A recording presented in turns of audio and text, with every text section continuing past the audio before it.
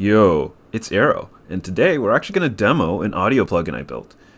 It's kind of in an alpha state, so it would really help me out if you guys went to the description, join the Discord there, and in the download section you can grab a free copy of the VST3. It'll work on anything but uh, Pro Tools, and it won't work on Mac. Right now the build's only for Windows. If I get good feedback from this after I make the edits and make the final build, there will also be a build for Mac OS too. For those curious about how one would go about making an audio plugin like this, there will actually be a code walkthrough video coming up soon. If it's already out, I'm sure I'll leave a link somewhere on the screen or in the description. But let's get on to the demo. So here's the drum loop. We're gonna add our plugin and see what we can do. Right now, I have it set to almost silence. This is actually not a bug, but a feature, although this shouldn't be the initial preset but let's crank it up a bit. So Drive does exactly what you'd expect it to. It's currently just a regular schmegular saturation plugin with four different saturation types. Here's B. The most aggressive one is C. Oof. Let's watch those levels. And type D, which is special. There's no drive applicable for it. Obviously you can see it's grayed out here. But things get most interesting when we turn on the dynamics. That's the whole point of this plugin. So I'm going to crank up the saturation here. Right now you notice everything's getting crispy. With the dynamics on, I'm going to pull down the threshold until I see it touching that wave. Now you're going to notice that snare pops.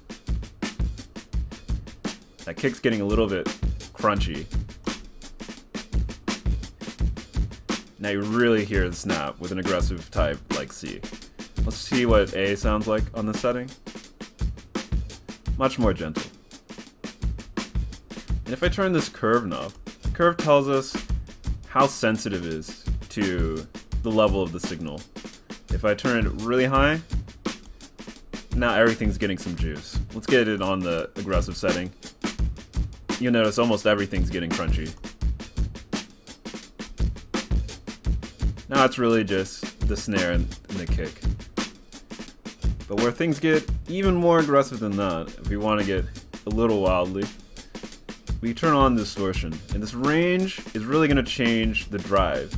So if I turn the range all the way up, it's really turning the drive from here to here dynamically based on the level of the signal. And again, we're getting pretty aggressive here, pretty wild, but you can definitely hear it taking effect.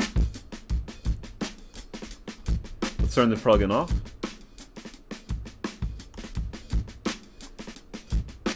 Really aggressive sound. We're gonna turn that down a bit. Now you're probably wondering what inverse is for. If I invert it, oh, does the exact opposite. So the quieter the level, the overall level of the signal, the more distorted it gets. So you're gonna notice that the kick and the snare aren't gonna get crunched anymore, but all the details in between get pumped. That sounds pretty full and beautiful. I wonder what it looks like when we print out when we print out this waveform. So I'm going to go ahead and normalize these real quick and compare. Wait.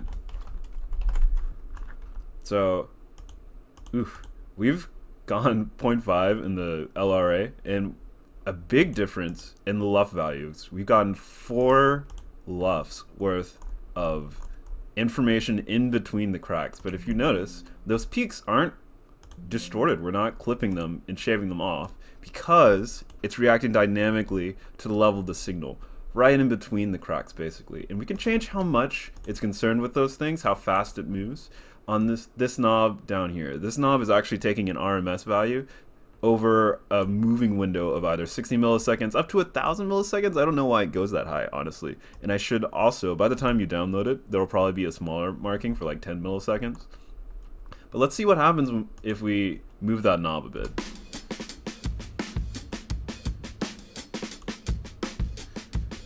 now that's taking a wider RMS, the overall level is going to look lower. So I'm going to push the threshold so it'll react a bit more. You can really feel like the drummer is moving backwards and forwards. Close, far away. Closer. The more kicks and snares you hear, the more it seems to back off. The sweet spot for me, depending on the tempo and the groove, is around 200. You feel just the right amount of pumping. But let's happen, see what happens if we turn off inverse. So now the kicks and the snares are really where the energy starts to pump.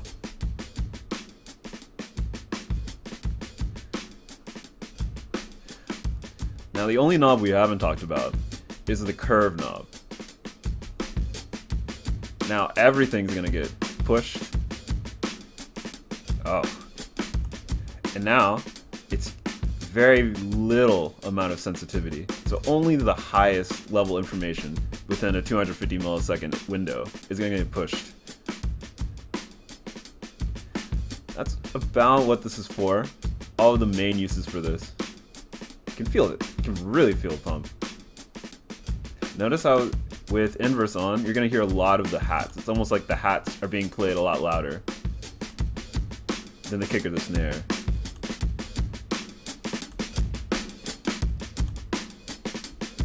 Ah. But that's that's enough of the intentional uses. Why don't we see if we can break something? So I'm gonna go inverse, and I'm gonna pull it all the way down. You'll notice that the spar gets gray or black when things aren't getting distorted.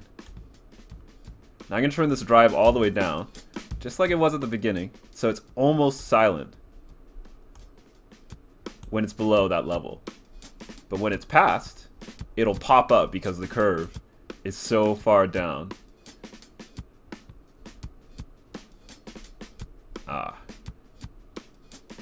You can get a little glitchy that way. Let's see what happens if we turn the millisecond count. And we'll have to adjust the threshold.